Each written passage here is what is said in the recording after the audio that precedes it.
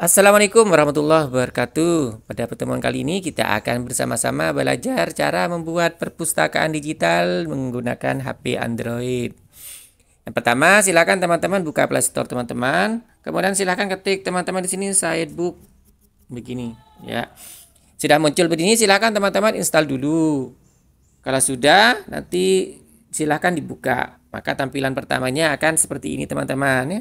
Kemudian kita langkah selanjutnya teman-teman masuk ke ini teman-teman ya uh, file manager teman-teman ya. File manager kemudian silakan teman-teman cari uh, buku informatika misalnya kalau saya ya informatika jadi buku-buku yang akan teman-teman masukkan ke perpustakaan teman-teman.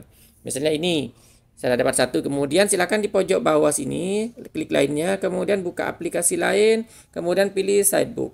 Seperti teman-teman. Nah maka ini buku informatika sudah masuk satu ya. Kita tunggu sampai prosesnya selesai. Dah. Kemudian silakanlah sudah, silakan teman-teman back ke sini, kita buka lagi yang sidebook. Maka di sini akan muncul satu buah buku sudah. Untuk menempatkan yang lain caranya sama. Jadi teman-teman cari buku yang lain, misalnya ini ada buku uh, buku guru nih, teman-teman. Kemudian silakan teman-teman lainnya buka aplikasi lain, kemudian sidebook lagi. Tunggu prosesnya sampai selesai.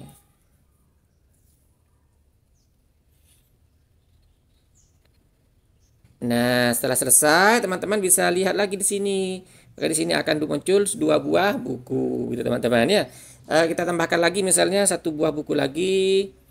Uh, kita buka yang informatika kelas 10 misalnya ini. Nah, kemudian kita lainnya lagi, kemudian buka aplikasi lain pilih sidebook lagi nah kalau sudah begini tunggu sampai selesai maka kita akan pu sudah punya uh, tiga buah buku di perpustakaan digital kita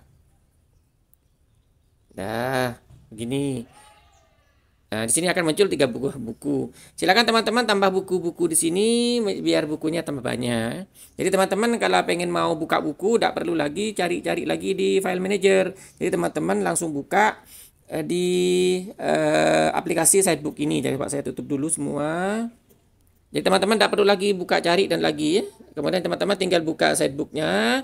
Kemudian ini akan tersimpan seperti ini. Tinggal teman-teman buka kalau waktu teman-teman mau mengajar. Begitu teman-teman. Ya. Keren kan? Uh, semoga bermanfaat. Saya akhiri. Assalamualaikum warahmatullahi wabarakatuh.